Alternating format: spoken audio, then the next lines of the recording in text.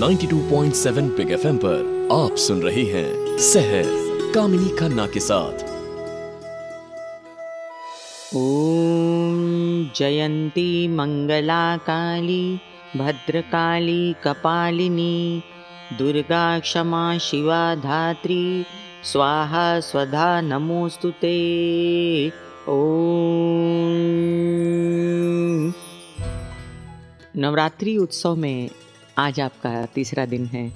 कल दूसरा दिन था और आपने ब्रह्मचारिणी दुर्गा के इस स्वरूप की पूजा की थी। ब्रह्म का अर्थ है तपस्या और जो तप का आचरण करती है, उसका मतलब है ब्रह्मचारिणी। इन देवी का रूप था बहुत सुंदर भव्य। इनके हाथ में जपमाला, कमंडलू था और पूर्व जन्म में हिमालय की बेटी इस तरह इन्होंने जन्म लिया और भगवान शंकर इनको पति मिले इसलिए उनकी इन्होंने कठोर तपस्या की। इसी तपस्या की वजह से तपश्चरणी या ब्रह्मचारिणी इनका नाम हुआ।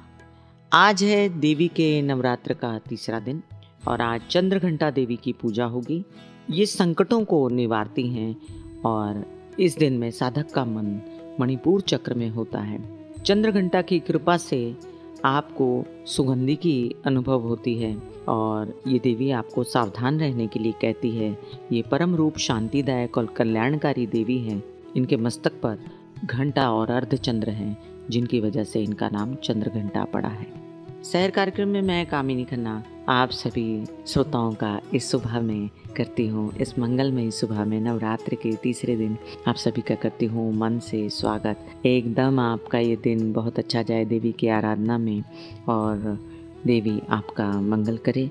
आज तीन दस दो हज़ार सोलह सोमवार है और आज चंद्र तुला राशि में अहोरात्र नक्षत्र है स्वाति, देर रात तक बुध कन्या में, शाम पाँच बज के छप्पन मिनट के बाद।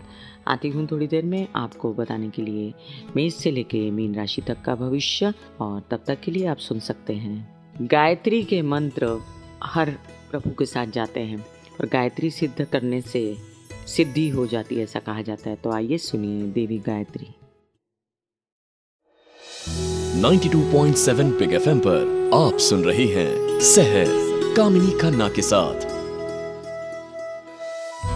पंचामृत कणीर के फूल, मिठाइयाँ, पाँच फल, लाल सिंगार, और साथ में लाल वस्त्र, अस्त्र, शस्त्र, दुर्गा सप्तशती के जाप, और साथ में कन्या पूजन। इन सबसे सुसज्ज होकर आप तैयार हैं देवी की पूजा करने के लिए। और मैं कामिनी खन्ना शहर कार्यक्रम में करती हूँ आप सबका स्वागत इस तीसरे नवरात्र में मेष से लेके कन्या राशि तक का भविष्य अब आप सुनेंगे। आज ये भविष्य जो है वो मैं नवरात्र के हिसाब से बताऊँगी मेष राशि। मेष राशि के लिए चंद्रमा तुला में पहुँच गए आज।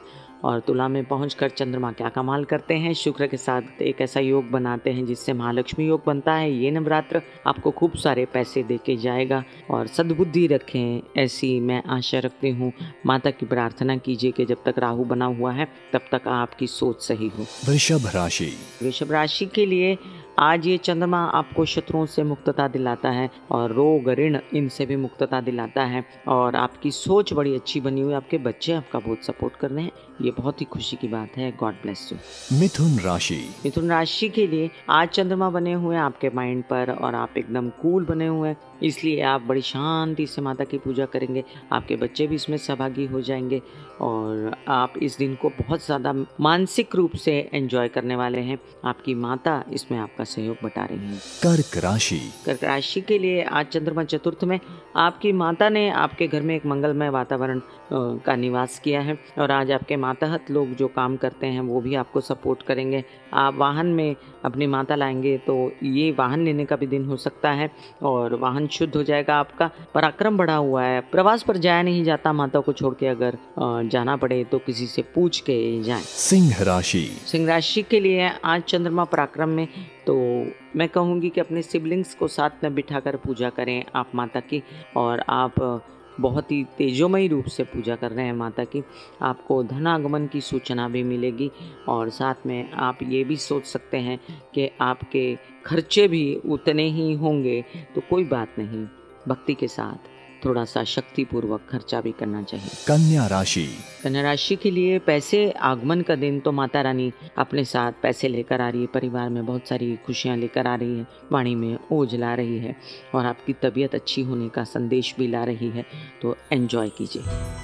92.7 बिग एफएम पर मैं कामिनी खन्ना बता रही थी। माता रानी के नवरात्र के हिसाब से ये राशि भविष्य मेष से लेके कन्या राशि वाले जितने भी लोग हैं, उनको माता ने क्या क्या गिफ्ट और प्रेजेंट दिए हैं, ये आपने जाना। आती हूँ थोड़ी देर में बताने के लिए। तुला से लेके मीन राशि वालों के उपहार तब तक के लिए बने रहिए आप मेरे साथ इसी कार्यक्रम में जिसका नाम है शहर। आरोग्य के लिए एक मंत्र बोला जाता है रोगान शेषान पहंसी तुष्टा रुष्टा तो कामान सकलान अभिष्टान। तो अमाश्रिता नाम न विपन्न राणाम तो अमाश्रिताम या श्रेयताम प्रेंति ये मंत्र भी बोल सकते हैं और अपनी तबीयत ठीक करने के लिए ये जो अभी आप सुनेंगे ये मंत्र भी कर सकते हैं। 92.7 बिग एफएम पर आप सुन रहे हैं सहर कामिनी खन्ना के साथ। ऐसा हुआ कि जब मैं छोटी थी मैंने घर में माता की जब पूजा शुरू की, मेरी माँ बहुत तापसी थी और वो भी बहुत सारी पूजा करती थी। बहुत सारा साधना और तपस्या की उन्होंने, लेकिन मैंने जय माता की बोलना शुरू किया। तो आज मेरा पूरा परिवार, सौ लोगों का परिवार, सब एक दूसरे से मिलने पर जय माता की बोलते हैं। मुझे गर्व होता है कि माता रानी आपका नाम मैंने दिलवाया इन सबको। मैं कामिनी खन्ना शहर कार्यक्रम में आप सभी के साथ तुला से लेके मीन राशि तक का भविष्य बताने के लिए हाजिर। तुला राशि। तुला राशि के लिए आज आप बहुत ही सुंदर और ऐसा महसूस करेंगे कि माता रानी ने आपकी पर्सनालिटी बना दी है। और वाकई में आपको दुर्गा सप्तशती के जाप करने चाहिए। आप तुला राशि के हैं। आप अपने पठन पठन रखवा सकते हैं ब्राह्मण द्वारा या खुद भी कर सकते हैं आप हवन कर सकते हैं। और साथ में आपको एक बात बता दूँ आज आपकी वाणी में ऊज रखिए। आप शांति पूर्वक पूजा कीजिए। परिवार में जो बेचैनी है उसको पूजा पाठ से भगाइए। वृश्चिक राशि। अभी तक तो बनी हुई थी आपके अंदर एक ज्वाला और बेचैनी।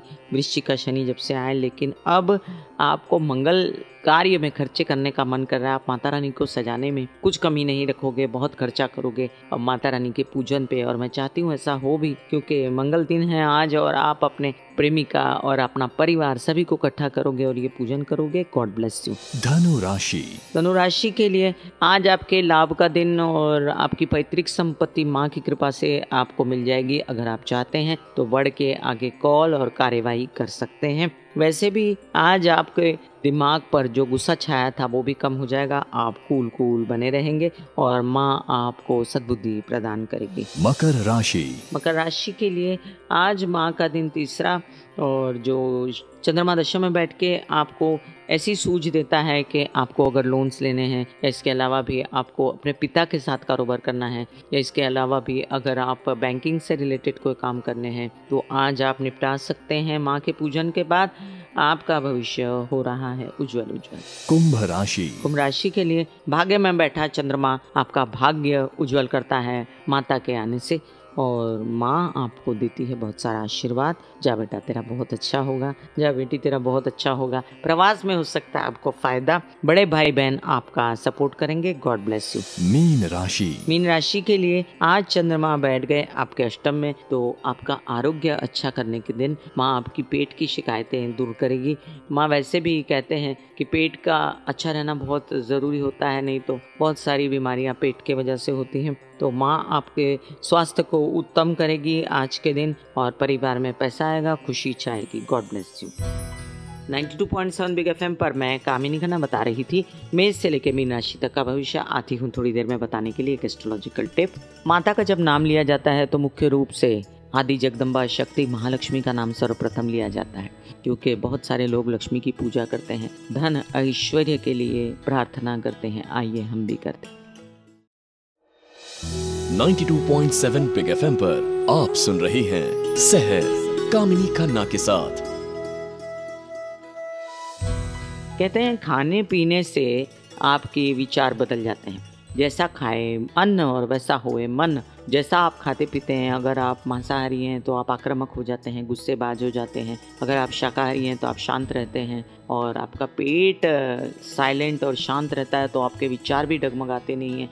तो बहुत सारी ऐसी बातें हैं जो खाने पीने से बदल जाती हैं, आपके स्वभाव, आपके व्यवहार। तो क्यों ना खाना पीना अच्छा करें? मैं कामिनी खन्ना शहर कार्यक्रम में आप सभी के साथ इस दिन की, इस मंगल सुबह की आपको देती हूँ। बधाइयाँ जी, बधाइयाँ। कैसे हैं आप लोग साहब? आप जो बात कर रही हूँ, फल की, उसको ध्यान से सुनिए। खरबूजा।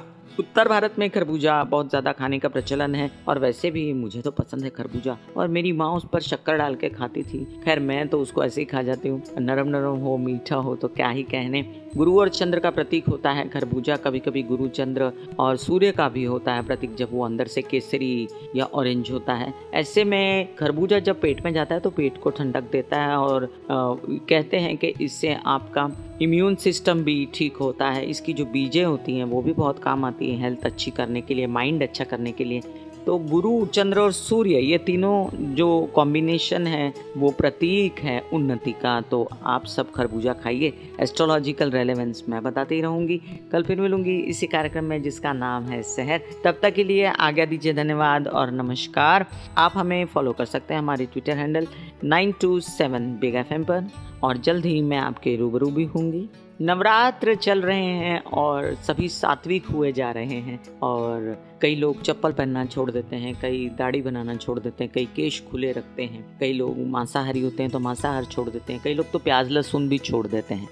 तो माता आप सब पर बड़ी कृपा करे, माता आपको धन ऐश्वर्य दे। आइए हम फिर से एक बार जगदम्बा महालक्ष्मी की प्रार्थना करते हैं। Take care